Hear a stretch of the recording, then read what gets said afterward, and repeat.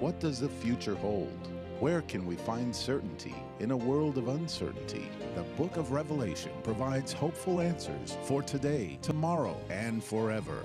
Join Mark Finley, author and world renowned speaker, on a journey into the future with Revelation's ancient discoveries. Welcome and thank you for joining us for this journey through the book of Revelation. Revelation is the last book in the Bible, and it focuses especially on Jesus Christ. Many people, when they think about the book of Revelation, think about mystic symbols. They think about cryptic images. They think about prophecy that they really can't understand.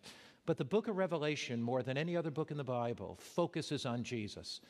Our topic in this presentation is Revelation's final events. Let's pray together and ask the Spirit of God to come and to touch our hearts, to encourage us with the hopeful message of the book of Revelation. Father in heaven, we thank you for the last book in the Bible, the book of Revelation, a book written by John on the island of Patmos to prepare people for the soon return of Jesus. As we open the pages of that book, speak to our hearts, bring us deep conviction, stir us within, and enable us to sense the glory of your soon return. In Christ's name, amen. There's something really fascinating, something really amazing about space travel. When we think about travel through space, we are awe stricken. Which ones of us wouldn't like to take a space journey that was pretty safe? You know, some of us, when we think about space journeys, think about nervous, we get a little nervous, we're a little anxious. We say, I don't know if I want to step onto some space shuttle. But there is a space journey that's coming that is absolutely safe. You know, some time ago, America was quite stunned as the spacecraft Columbia blasted off. There was a, a, slight problem, nothing major. Our eyes were glued to the television screens. Thousands and thousands of people were watching as that spacecraft hurtled through space. Seven of our brightest, seven of our best astronauts, some of the most talented, some of the most intelligent people were there, bright smiles, bright eyes. But yet, as that spacecraft began to re enter Earth's atmosphere, a minor problem that took place when the spacecraft Columbia blasted off became a great problem. The gases entered in through a crack, evidently, in the craft, and the entire space shuttle blew apart. In fact, the headlines in the newspaper were Shuttle Breaks Up. Time magazine quoted George Bush, president the, at the time, on February 1, 2003, as saying, The Columbia is lost. And then he said, America is saddened today. There are no survivors. This space journey began fairly well, but it ended with no survivors. The space journey that you and I are preparing for is one that's not going to only begin well, it's one that's going to end well. The space journey that we are preparing for is, a, is the space journey of the ages. Our commander is going to get us home. We can have absolute certainty that as we begin this space journey from earth, when Jesus Christ returns again, that Jesus will get us home. We will travel. We'll travel beyond the moon, our nearest neighbor at 250,000 miles in space. We'll travel beyond the stars and the planets, travel beyond the sun, 93 million miles from here, travel beyond Pluto and Jupiter and Saturn. We'll travel through the sky, up through that open space in Orion, and travel millions of miles in space to our eternal home, where there is no sickness, where there's no sorrow where there's no suffering, where there is no death. There is one thing that I'm certain about. Many things I'm certain about, but one thing for sure this world is not our home. When I read the newspaper and I see the gruesome details of war, I know this world is not our home. when I read about children with distended bellies that are starving to death, whose mother's milk has run out, I know that this world is not our home. When I read about terrorist acts and innocent people being killed, I know that this world is not our home. When I read of car accidents and young adults being killed instantly, I know that this world is not our home.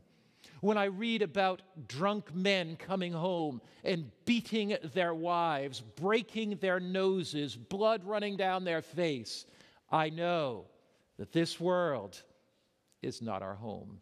One day, we're going to travel. Travel beyond the stars, travel beyond the sun, travel through that open space in Orion to the very throne of God. The promise of God is that Jesus will soon return. 1,500 times in the Bible, the Bible discusses the return of Jesus. For every eight prophecies, for every one prophecy in the Old Testament on the first coming of Christ, there are eight prophecies on the second coming of Christ. Once in every 25 verses in the New Testament, it talks about the second coming of our Lord. God's end time plan is clearly revealed in His Word. There are many people that are quite confused about the second coming of Christ. You read books, and one book says this thing, and the next book says that thing about the return of Christ. Christianity is quite confused about it. Some people have the idea of a secret rapture, they have the idea of a seven year tribulation. Other people believe Jesus is coming in glory, power, majesty. Some people believe Christ is coming to set up His kingdom on earth. Some people believe that the second coming of Christ is kind of a spiritual coming where there's peace, nirvana, love on earth. So many confusing ideas. I love that old poem. What says the Bible, the blessed Bible, to me? This my only question be what says the Bible, the blessed Bible, to me? Wouldn't you agree that this is the book of books? Other books written by men pale into insignificance in the light of the book of books. The Word of God gives us certainty about the events of the second coming of Christ. Now, when we look at the book of Revelation, the central theme of Revelation is Jesus. In fact, Revelation chapter 1, verse 1 says, The revelation of who? The revelation of who? Jesus Christ. So the book of Revelation is not a confusing book. In fact, the Bible says in Revelation 22 that the book of Revelation is not sealed, the book of Revelation is an open book. The theme of Revelation is Jesus, and there are two great mountain peaks in Revelation. First, the Lamb of God, mentioned 27 times in Revelation, speaks of the first coming of Christ. And then Jesus, pictured as a king, speaks of the second coming of Christ. Revelation chapter 14, verse 14, describes this glorious event of Christ's coming. It says, Then I looked, and behold, a white cloud, and one, uh, and on the cloud sat one like the Son of Man. The Son of God became the Son of Man, so sons of men could become the sons of God. Jesus, the divine Son of God, tabernacled in human flesh to show us what God was like and to share with us the keys to victory over temptation and sin. So it is the Son of Man that comes back the one that walked the dusty streets of Galilee, the one that walked the cobblestone streets of Jerusalem. He is Jesus, our friend.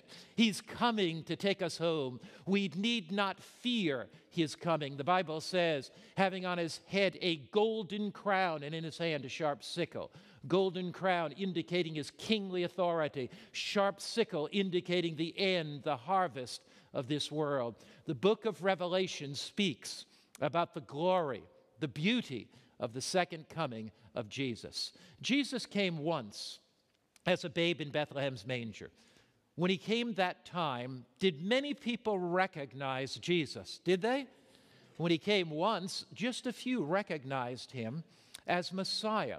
Very, very few. The wise men came, shepherds gathered there around Jesus' uh, birthplace, but very few recognized him. So we could say that once he came, in a sense, secretly.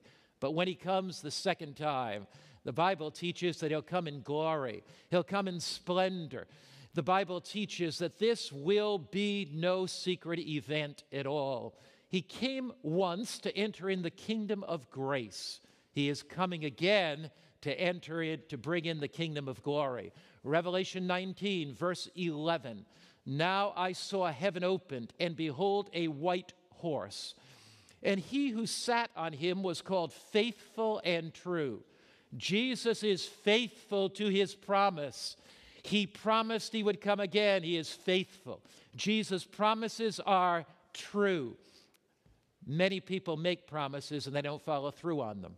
But Jesus said, Let not your heart be troubled. You believe in God, believe also in me. In my Father's house are what?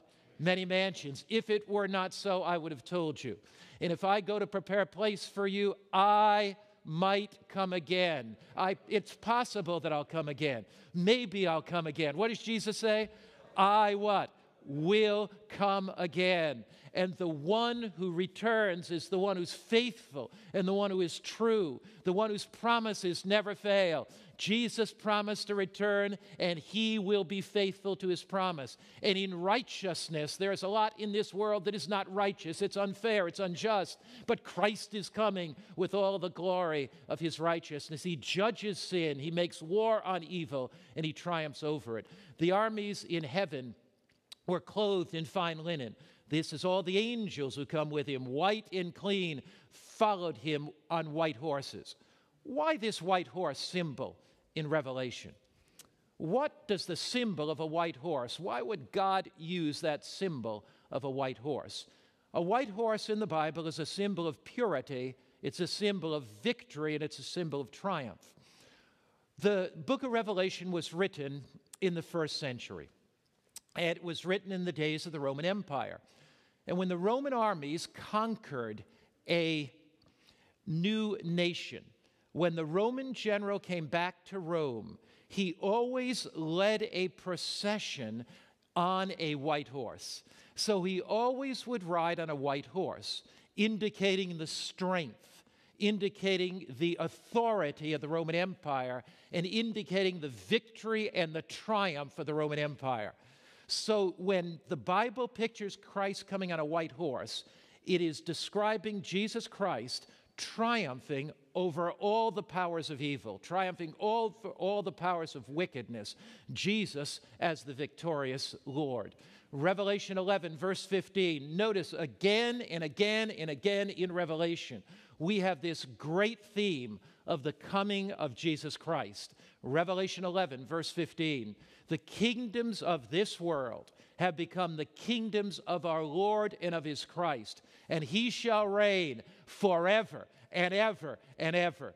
The kingdoms of this world will fade into insignificance. The buildings of this world will come crumbling down, but Jesus will reign forever and ever. Do you see why the book of Revelation is the most hopeful book in all the Bible?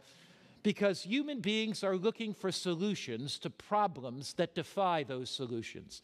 Human beings are looking for solutions to the pollution of the world, to the global warming of the world, to the war of the world, to the famine of the world. But yet, as hard as they try, and as Christians, we applaud all efforts for peace. We applaud all efforts to feed the hungry. We applaud all efforts to treat disease, but here's what we know no human solution, no human solution can solve the problems of this world. There is only one that can solve those problems, and there's only one event that can bring that solution. When the kingdoms of this world become the kingdoms of our Lord, the kingdoms of men rise and fall. Nations have their place on the stage of human history, but they rise and fall. But Jesus' kingdom will reign. He shall reign. What does it say? Forever and ever and ever. His kingdom will last through all eternity. Now, how will Jesus come back the second time? And how can I know, more importantly, that I'll be ready when he comes? Many people have different ideas about how Jesus is going to come. But the Bible is very clear. The first thing that we want to notice is this that there will be those that claim that Christ is returned. Luke 17, verse 23 says, And they will say to you, Look here, or look there. But Jesus says, Do not go after them or follow them. In other words, there will be those that see in what they believe a being of dazzling brightness. There will be those that see in that being one that they believe is the Messiah. What if a Messiah like being of dazzling brightness appeared in Los Angeles? What if he appeared there in the great Coliseum, spoke to thousands, and they were being healed? What if a Christ like being, being of dazzling brightness, angelic being, appeared? What indeed if he appeared in a place like Chicago in Grant Park and spoke to thousands? What if he appeared in St. Louis? What if he appeared in New York City in Times Square? What if he appeared in Paris or England, London, England, or Beijing, China? What if thousands were being healed? Would you go to see him? What does Jesus say? Do not go there. Why not? Because the Bible says, Luke 17, verse 24, as the lightning that flashes out of one part under heaven shines to another part under heaven, so also the Son of Man will be in his day. Jesus Christ is not coming as some cosmic master, some being of dazzling brightness to walk on the earth at this time. Christ is coming in the clouds of heaven. Christ is coming down from above, he won't rise up from below. Our Jesus is coming in the clouds of heaven. Now, Satan can appear as a being of dazzling brightness. Satan can masquerade and appear as Christ. Satan could walk up and down on this earth but Satan does not have the power to come in the clouds of heaven like a glorious being and raise the dead. Only Jesus Christ can do that. Satan has a plan to deceive the multitudes. Wouldn't the devil try to counterfeit and impersonate the second coming of Christ? When all humanity is looking for solutions to their problems, wouldn't that be something that you think the devil might do? Now, five facts about the coming of Christ. First, Christ's coming will be a literal event. It's not some spiritual coming. Jesus is not some cosmic master that's going to come in, in some vague, vapory way and bring peace, nirvana on earth. The coming of Christ is a literal event. Jesus ascended up in the sky literally, he'll return literally. The Bible says, Acts 1, verse 11, this same Jesus, this what Jesus? This same Jesus who has been taken up from you into heaven. The disciples were looking up, straining their eyes to see Jesus as he ascended into heaven. Man steps off a mountain and goes down. God steps off a mountain and goes up. Because the law of gravity cannot keep down the creator of gravity. This same Jesus who's been taken up from you into heaven, the disciples look, the angels come and they say to the disciples in these very words, will so come in like manner as you've seen him go into heaven. Jesus ascended into heaven in glory, he will return in glory. He ascended into heaven, he will return the same way he went up. A real Christ ascended, and a real Christ will what? Descend. We look at Scripture and recognize that this is no supposed cosmic master who's going to walk on earth. He is coming down from the sky in glory. Now, Christ's coming will not only be a literal event, it'll be a visible event, not only seen by the righteous, but also seen by all humanity. The Bible makes that very plain. Revelation 1, verse 7 says, Behold, he is coming with clouds, and every eye will see him the eyes of the young and the eyes of the old, the eyes of the educated and the eyes of the uneducated. Chinese eyes will see him come, and European eyes will see him come, and Asian eyes will see him come, and the eyes of Europeans will see him come, and the eyes of Americans will see him come, and the eyes of Australians will see him come. The Bible says what? Every eye will see him come. Now, somebody says, Well, Pastor Mark, I thought only the righteous were going to see him, and that there are kind of two phases of his second coming. The Bible does not teach that. It teaches that every eye will see Jesus when he comes. Christ's coming will also be an audible event, not only literal, a real Christ, not only visible, a that we'll see him come, but it will be an audible event. Not only will every eye see it, but every ear will hear Jesus, this event. The Bible says in 1 Thessalonians 4, verse 16, For the Lord himself shall descend from heaven with a with a what? A shout. Now that doesn't seem very silent, does it? With a what? With a what? A shout. The Bible says with a shout with the voice of the archangel and the trumpet of God. And the dead in Christ shall rise first. Have you lost some loved one by death? A father or a mother? You've laid them in some grassy grave on a hillside, and you can't wait to see your mom again. You can't wait to see your father again. What about that baby that died in childbirth? You long to see them again. What about that son or that grandson? What about that, that friend? Tears run down your face as you hear the story of their death. But the Bible says the Lord Himself shall descend from heaven with a shout, with the voice of the archangel, with the trumpet of God, the trumpet of victory. And the dead in Christ shall do what? They shall rise first. One evening, I was standing on the platform of one of the great auditoriums in our world, and I was talking about the second coming of Christ. I had just talked about this passage in 1 Thessalonians chapter 4. And as I did, I said, How can I make it real to my audience? How can I, how can I just describe the second coming of Christ so powerfully that people long to be ready for his coming? So I described a scene. And I said, Suppose you had a little baby. And let's suppose that baby's name was Amanda. I don't know why I used that name. I had never used that name before. It's a n- common name, but not a super common name in America. And so I said, suppose you had a little baby called Amanda.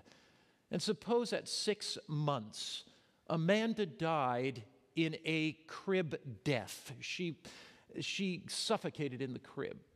And suppose you buried her and your heart was just broken over the death of Amanda. And imagine you're at her grave and there, as you're praying, longing with tears coming down your face to see Amanda again, the earth shakes. The sky illuminates with the glory of God. Christ comes with 10,000 times 10,000 angels. The sky is illuminated with the glory of God. And Jesus calls Amanda to come forth, and that grave opens, and that little baby comes out, and the angel puts that baby in your hands again. And those little hands begin to pat your cheeks and you look into that little face and you ascend in heaven with Jesus to, in the sky. At the end of the meeting, a lady came up to me, said, Pastor, can I talk to you? I said, Sure. She said, How did you know? I said, How did I know what? How did you know I had a little baby? A baby that died in the crib at six months. And how did you know that that baby's name was Amanda? I said, I've never used that name in a sermon before, but the Holy Spirit impressed me to use that name at that moment just for you because Jesus loves you so much. Jesus wants you in eternity. Jesus wants you to be with him, and he wants you to know that one day he can put that baby back in your arms again. Christ comes with a trumpet symbolizing the blast that will wake the dead, symbolizing victory. He comes with a sickle, symbolizing that earth comes to an end and earth's harvest indeed is over. The Bible puts it this way the dead in Christ shall rise first. The graves are opened, the dead come out. Then scripture says that we which are alive and remain shall be caught up together with them in the clouds to meet the Lord in the air. The Bible says, We shall be caught up together with them to meet the Lord in the air. your mother is going to be looking for you. That mother that was so faithful to Christ, she's going to be looking for you. That friend that you prayed with and studied the Bible with, they're going to be looking for you. That son, that daughter, dad's going to be looking for you. Dad, don't walk away from Christ now. Dad, don't turn your back on Christ now. Because what if your son is saved and he's looking through heaven? He says, Where's my father? I want him to be here. Children, your parents are going to be looking for you. This is no time to walk away from Christ. Your parents are going to be looking for you. What does the Bible say? We're caught up together with them. Think of the joyous celebration. Think of the jubilation. Think of the thrill of being caught up together in the air. You don't want to miss that for some of the cheap pleasures of this life.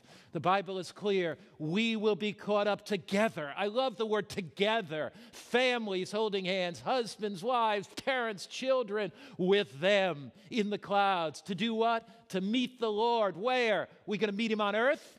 Meet the Lord where? In the air. The devil can never counterfeit that. Christ is coming literally. Christ is coming so that every eye will see him. Christ is coming so every ear will hear it. Christ is coming to raise the dead. Christ is coming to give immortality to the living, and we ascend through the sky with Jesus. So shall we ever, not temporarily, not momentarily, so shall we what? Ever be with the Lord. In eternity, life is short. We appear here momentarily, and then we're off the scene's history but Jesus is coming and we can ever be with the Lord. Notice Matthew 24, verse 26. Therefore, if they say to you, Look, he's in the desert, or Look, he's in New York, or Chicago, or Los Angeles, wherever, look, he's in the desert, do not go out. Why not? Because our Christ is coming in glory to raise the dead. Now, Christ's coming will be an incredibly glorious event. It is the event of the ages. Matthew 24, verse 27 again, for as the lightning comes from the east and flashes to the west, so also will the coming of the Son of Man be. So this is no secret event. It's like lightning shining from the east to the west. A real Christ is coming in the sky. He's coming to redeem his people. He's coming to resurrect the dead. He's coming down through the Carter of Orion in glory and power and majesty. He is coming soon. Now, the Bible says in Matthew 24, verse 30, the Son of Man will appear in heaven. This is a key verse. And then all the tribes of the earth will mourn. Now, notice it does not say that only the righteous will see him when he comes. It does not say that he's coming to rapture his saints. Not at all. He's coming literally, he's coming visibly so that every eye sees it, he's coming audibly so every ear hears it, he's coming to raise the dead. But notice it does not say in the text that only the righteous will see him. It says, The Son of Man will appear in heaven, then all the tribes of the earth will mourn. Remember, Revelation 1, verse 7 said, Every what?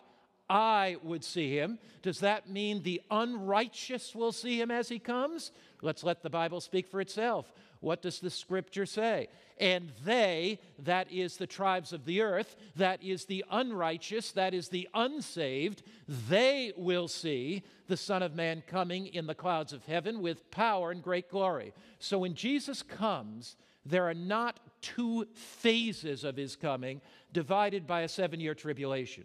When Jesus comes the second time to return, every eye sees him. The righteous see him, and the wicked see him. The saved see him, and the unsaved see him.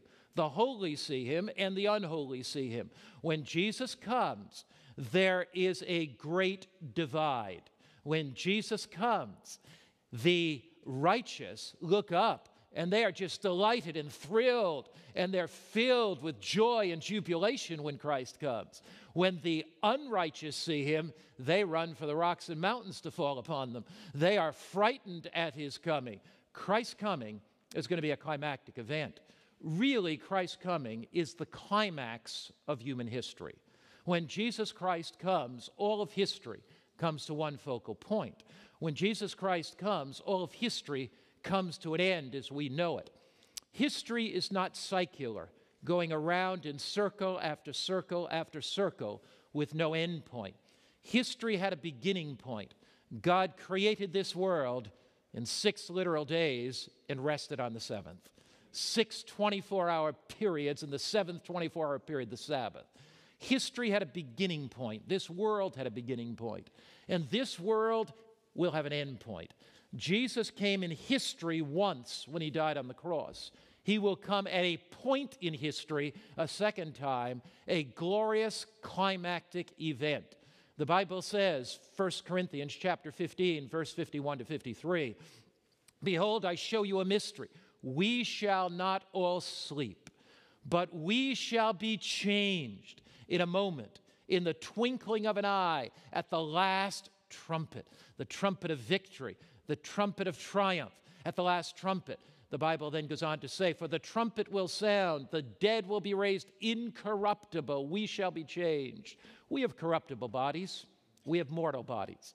Our bodies are subject to disease, they're subject to pain, they're subject to suffering, they're subject to death. But one day Jesus is going to come.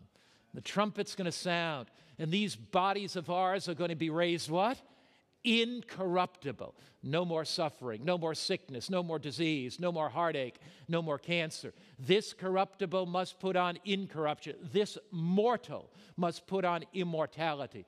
Mortal means subject to disease and death and decay. Immortality, living forever and ever and ever with Jesus Christ through the ceaseless ages of eternity. Christ comes, and we're ushered through the corridor of the sky to live with Him forever and ever and ever in eternal glory where there is no worry, no fear, no anxiety. Sometimes does your stomach get tightened and you get a little worried? Sometimes do you get headaches because you're under such tension? Sometimes does fear grip your soul? Just think of what it's going to be like to live in a world where there is no worry. You never worry about anything again. Think about it, what it's going to be like to live in a world where there is no fear. You never fear. Think of what it's going to be like to live in a world where there is no evil no sickness, no war, no heartache, no suffering, no death. That's going to be an amazing world, isn't it? I don't want to miss it, do you? Jesus is coming to usher in eternity. And one day we, with the whole universe, will sing from the depths of our soul Great and marvelous are your works, Lord God Almighty. Just and true are your ways, O King of saints. We will see that the way God dealt with the controversy between good and evil, this controversy between Christ and Satan, this great controversy in the universe, we will see that in the way God dealt with that controversy has been fair and just and right. It has demonstrated his love forever, and that's why sin will never rise a second time. Because Jesus has dealt with the controversy in a way to reveal before a waiting world, before a watching universe, the majesty, the greatness, and the beauty of his love. Just think of what it's going to be like when he comes. Husbands embracing their wives and saying, It's over, it's over, it's over. No, honey, it's not over. It's just beginning. And we ascend to heaven. Think of what it's going to be like for mothers to grasp the hands of those children again. Think of what it's going to be like in that glorious day to ascend through the sky. You say, Pastor, that's too good to be true. It's too good not to be true. In your heart, you know that you were created for something better. In your heart, you long for that something better in Jesus. We will look up. Isaiah 25, verse 9, we'll cry out, Behold, this is our God. We have waited for him. Now, underline circle, we've waited. And he will save us. We've waited for him. We've not surrendered to the cheap, tawdry pleasures of this world. We've waited for him. We've not sold out like Judas did for a few pieces of silver in this life. We have done what? We've waited for him. We've not accepted the false Christ. We've not been deceived by the false Messiah. We've not accepted the one that's come to this earth as a being of dazzling brightness and walked on the earth and claimed he could heal. We have waited for Christ. He will save us. Notice, this is the Lord. We have waited for him, and we will be glad in his salvation. We are rejoicing. But there is another class. You know, the Bible says, 2 Corinthians 6, verse 2, Behold, now is the accepted time. When is the accepted time? The only way to be ready for Christ is to get ready today and stay ready. Behold, what? Now is the accepted time. Behold, now is the day of salvation. Christ appeals to us not to get ready tomorrow. If you're watching this broadcast here in this auditorium, and you said, You know, I, I feel a stirring in my heart. I sense that this world doesn't have much to offer, but I, I'm hesitating. There's something that I don't want to let go. I just haven't come to the place of a full commitment to Christ yet. The longer you wait, the harder it's going to become. Now is the day of salvation. You didn't turn into this broadcast by accident. You're not in this auditorium by accident. Christ brought you here. If there's something in your heart, something in your life, Christ wants you to get that settled now. Because now is the accepted time. Now is the day of salvation. Our eternal destiny is being settled by the choices that we make today. The choices that we make today either tie us and bind us and lock us in sin, or the choice to accept His grace, the choice to accept His pardon, the choice to accept His power. That's a life changing choice that frees us, that liberates us. some people say, well, Pastor, summarize it. Summarize all the events that happen when Jesus comes. Here they are. First, what happens when Jesus comes? There'll be seismic upheavals. The Bible says every mountain and every island will be moved out of its place. Seismic upheavals. Secondly, the righteous dead will be resurrected. Thirdly, the righteous living will be changed. Fourth, the immortality will be bestowed on the righteous dead and living, and they will ascend to heaven with Christ. The wicked living will be destroyed by the brightness of Jesus' coming they will not live on earth. Sixth, the righteous will welcome Christ as they ascend to heaven together. And seven, all of the righteous will be ushered into eternity. Those are the events that surround the coming of Christ. But somebody says, Pastor Mark, I, I really still have some questions. And I've heard a lot about something called the secret rapture. And what about this idea of the secret rapture? Where does that come from? And, you know, I'm a little confused because doesn't the Bible say that Christ is going to come as a thief? Isn't that implying secretly? And doesn't the Bible say there'll be two in the field, one will be taken, one will be left? And doesn't that kind of imply that uh, Jesus' coming is kind of secret? I see all those texts in the Bible that you read, and they're pretty clear, but help me with these texts. I'm so glad you asked that question. Let's go to the secret rapture and take a little look about it. First, we need to keep clear on this. Matthew 24, verse 36.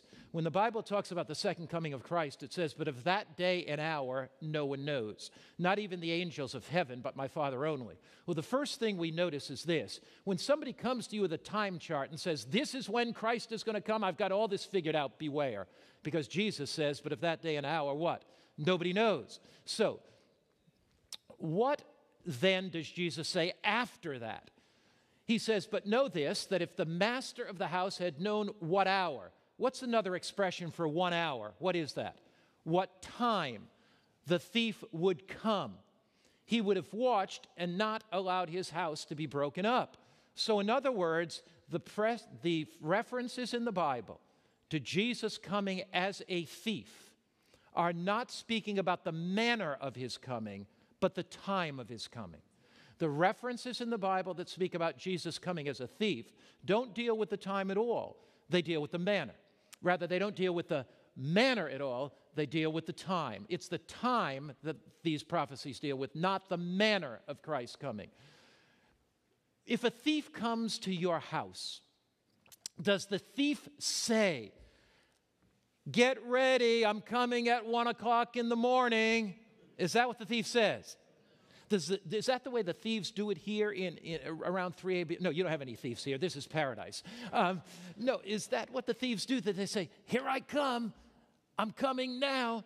No. So when the Bible talks about Christ coming as a thief, it's not talking about manner. He's coming so that every eye can see him. That's the manner of his coming. He's coming so every ear can hear it. That's the manner of his coming. He's coming to raise the dead, lightning in heaven. But we do not know the time. So he's coming quickly, he's coming unexpectedly, like a thief. When Jesus comes as a thief, the world will not expect it. Just like in the days of Noah. Did they expect the flood to take place in the days of Noah? Not at all. Just like in the days of Lot, did they expect fire to come down and burn Sodom and Gomorrah? Not at all. When Jesus comes as a thief, the world will not expect it.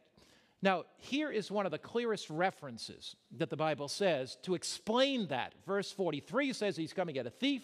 Verse 44 says, Therefore, you also be ready, for the Son of Man is coming at a what? At a what? Hour you do not expect. So the thief imagery in the Bible does not speak about the manner of Christ's coming, it speaks about the time of his coming. He comes quickly, he comes rapidly, he comes unexpectedly like a thief. Now, Peter makes this plain 2 Peter 3, verse 10. And this should really answer the rapture question about Christ coming as a thief and the idea that he's coming secretly. Look what it says but the day of the Lord will come as a what? Thief in the night. You know, there was a movie about called The Thief in the Night about the rapture that said he's coming secretly. Totally contrary to this text. But the day of the Lord will come as a what? Thief in the night. And what happens when he comes as a thief in the night? Which the heavens will pass away with great what? Noise. That's not very secret. And then it says, and the elements will melt with fervent heat, both the earth and the works that are in will be burned up. So, this whole thief imagery has to do with the second coming of Christ and subsequently the millennial period after that in the coming of Jesus. When Jesus comes the second time, the earth is destroyed, it's left desolate, and then eventually it's burned up. This whole thief imagery has to do with he's coming quickly, and this world will be a thing of the past. Now, the second coming of Christ is a surprise to people that are unprepared. He comes as a thief to the unprepared. He comes quickly, unexpectedly, rapidly. Now, somebody says, what about the expression one taken and one left? That expression is found in Matthew chapter 24, and it's also found in Luke chapter 17. Now, some people have this idea well, you know, we are going to be taken away in the rapture, and then other people are going to be left alive on earth. It's rather fascinating. Let me just take my Bible momentarily and take it and turn to Matthew, the 24th chapter. Matthew chapter 24. And I want to surprise you with this text. What's the popular idea? of Those that teach the rapture? Oh, those people are taken away in the rapture and the others are left alive. Well, this is rather fascinating. Matthew chapter 24, Jesus says, verse 36, but of that day and hour no one knows, no, not even the angels of heaven, but my Father. Then notice what it says, verse 37. But as the days of Noah, as the days of what, everybody? Noah. As the days of Noah, so also will the coming of the Son of Man be. What, what's it going to be like? The days of Noah. For as in the days before the flood, they were eating and drinking, marrying and giving in marriage, until the day that Noah entered the ark and did not know until the flood came and took them all away. What happened to those who were taken away by the flood? What happened to them? They died. Well, the idea of the rapture is we're taken away in the rapture. The Bible doesn't say that. When these people were taken away, they were taken away into the flood and died. Now, when you come to Luke, the 17th chapter, you have something very interesting here. Two men will be in the field, one taken and one left. Now, here it reverses the symbolism. What happens to the people that are left? Are those that are left left alive on earth? Not at all. As it was in the days of, of Noah. What happened in days of Noah? Two classes. One went into the ark, one did not go into the ark. The ones that went into the ark were saved, the ones that did not go into the ark were destroyed. Likewise, the Bible says, as it was in the days of Lot. So, in the days of Lot, what happens in the days of Lot? Two classes. Those that leave the city are what? Saved. Those that stay in the city are what? Burned. So, likewise, as it was in the days of Lot, there are two classes. Two classes. Days of Noah, one saved, one lost. Days of Lot, one saved and one lost. Two classes. Days of Noah, some are alive, they go into the ark. Some are destroyed, they stay out of the ark. Days of Lot. Some stay in the city, they're consumed and burned. Some come out of the city, and they are what? They are saved. So when the Bible talks about one taken, one left, it's talking about two classes. One class are saved, and one class are lost. One class are alive, and one class are destroyed. The Bible is very clear. What happens when Jesus comes? There is no rapture. There are two classes to make their eternal decision for or against Christ. Revelation 6, verse 15 to 17. The kings of the earth, the great men, the rich men, the commanders, the mighty men, every slave and every freeman, hid themselves in the rocks, the caves of the mountains. And they said to the mountains and rocks, Fall on us and hide us from the face who sits on the throne and from the wrath of the Lamb. How horrible it is Jesus created them to live with Him forever. Jesus created them to be with Him through all eternity. Jesus created them to live, but they run, they hide from the face of the Lamb. 27 times in the book of Revelation, it talks about the Lamb. The Lamb who came, the Lamb slain from the foundation of the world. The Lamb will provide salvation for all mankind. The Lamb who reaches out with love, hangs on Calvary's cross to save humanity but they're frightened. They've never come to Jesus in this life. They've never given him their lives, and so they run in fear. Two classes, one filled with joy, one filled with fear. Two classes. For one, it's the happiest day of their life. For the other, it's the saddest day of their life. Two classes. For one, it's a new beginning. For the other, it's a tragic ending. And every single one of us have that choice. What will I do with Jesus? Will I accept him as my Lord and Savior? Will I give him my life? Will I live with him forever? Or will on that day, in horror and agony, I run from the one who longs to save me? You see, Jesus wants to save every human being, but he can't. If Jesus brought all of Chicago to heaven, would it be heaven? Or would it be Chicago? If Jesus brought all of New York, of all of Los Angeles to heaven, would it be heaven or would it be New York and Los Angeles? See, until you have heaven up there, you got to have heaven down here. Until you can live in the kingdom up there, you have to have the kingdom right in here.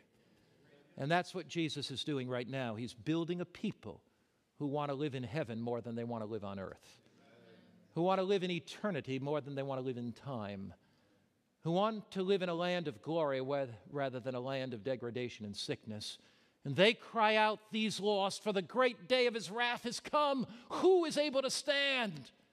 And the answer to that question is those that have been saved and redeemed by the grace of Christ.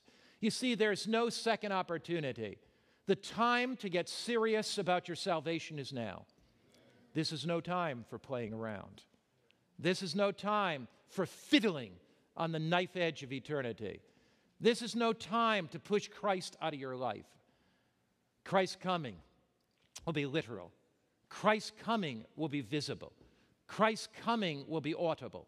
Christ's coming will be glorious. Christ's coming will be climactic. And Christ's coming will be a joyous event. Remember Jesus' promise in John 14, verse 2 and 3. We quoted it earlier. Here it is from the screen I go to prepare a place for you. And Jesus can't wait for you to be there with him. And if I go and prepare a place for you, I will come again and receive you to myself. That's what the second coming of Christ is all about. The second coming of Christ is not primarily about destroying the earth. It's not primarily about destroying wicked people who are destroyed because they turn from the claims of his love. The primary reason for the second coming of Christ is stated here I am coming to receive you to myself. Jesus is coming for you. He no longer wants you to live in a world of heartache or sorrow or disappointment. No longer wants you to live in a world of pain, suffering. No longer wants you to live in a world of tears. He cannot stand to be away from you any longer. So he's coming. He's coming for you. Think of it. Think of the promise that every father has, every mother has, every son has, every daughter has on that day when their loved one dies. Think of the promise Jesus says, I will come again to receive you unto myself. I will come and lightning will flash through the sky. I will come and mothers will receive their babies in their arms again. I will come and friends will embrace one another once again. Jesus says, I will come and sin and sorrow and suffering and heartache will be over. I will come and the dead will be resurrected. I will come and children will be placed in their mother's arms again. I will come and dads will embrace their kids again. I will come and men and women from all ages will come. They'll be resurrected from the north to the south to the east to the west. They'll come out of their graves. They'll rise with me in glory. And Jesus says, I will come again. Is there anything, anything that would keep you from being ready for the coming of Jesus. Anything deep within your heart. You see, there's only one thing that can satisfy now and forever, and that's Jesus. And Jesus is reaching out to you today. You know, I was 17 years old, and I didn't know anything about the Bible, didn't know anything about Jesus. And my dad said to me one Saturday night, he said, You're hitchhiking to the dance, aren't you? I said, Yeah, Dad, I'm hitchhiking to the dance. He said, You know, it may rain, you may get all wet, and you're not going to look too good when you go to that dance. What time's the dance start? About nine o'clock, Dad. Hey, look, there's a meeting going on about seven o'clock at night. It's across from the dance, and there's a preacher that's speaking. Why don't you go? I'll take you and then run across to the dance. See, my dad was a Seventh day Adventist believing in the second coming of Christ, but I wasn't. And dad was very wise. I got in the car. I didn't want to hitchhike and stand on the cold road. He took me to that meeting. It was kind of boring the first night, at least I thought it was. I ran across to the dance. But the second night, the preacher talked about the second coming of Christ. And they sang a song, Open Mine Eyes That I May See. Glimpses of truth illumine me. And that second night, I fell on my knees. I said, Jesus, open my eyes. Help me see the glory of eternity. And Jesus, get me ready for your coming. Ask Jesus to open your eyes. Ask Jesus to touch your heart. Ask Jesus to speak to you right now as Celestine sings.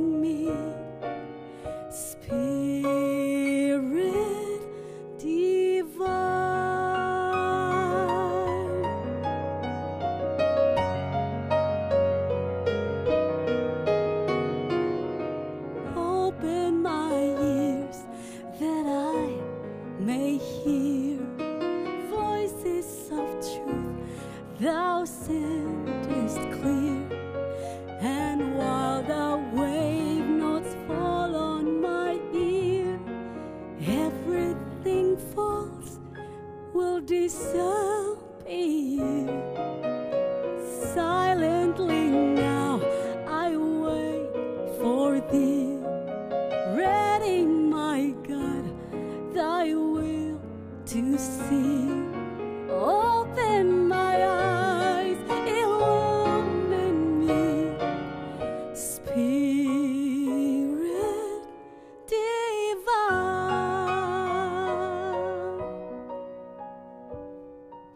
Would you like to say to Jesus right now, Lord, open my eyes?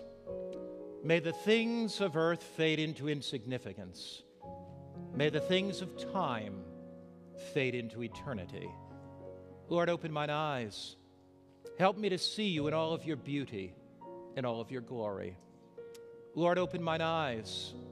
Help me not be so entranced with the things of this world that I miss eternity. The greatest event in the history of the ages is the second coming of Christ. And if you miss it, if you miss it, you have missed everything in life without the second coming of Christ. The grave is a dark hole in the ground, and death is a long night without the morning. But with the second coming of Christ, there is hope hope to see our loved ones again, hope to be with our children, our families again, hope that this old world will be recreated like the Garden of Eden again. As we bow our heads to pray, would you like to say, Jesus, open mine eyes to see the glory of eternity? Let's pray together. Oh, Father, come. Come, and as the old song says, open up mine eyes that I can see. Glimpses of truth illumine me, Spirit divine. Father, we thank you that there is hope for this world. We thank you that death is not a dead end. We thank you that we were created for a life and not death. We thank you that you've got a much better world, that there's a world of tomorrow coming, that one day we'll be caught up to meet Christ in the sky and travel beyond the sun, the moon, and the stars to eternity. Oh, Jesus, we surrender our lives to you to be ready for that great event. In Christ's name, amen. Thank you for joining us for Revelation's Ancient Discoveries. We are going to be probing the great prophecies of this book and looking more deeply into each chapter of the book of Revelation. So stay with us here on 3ABN and be blessed today.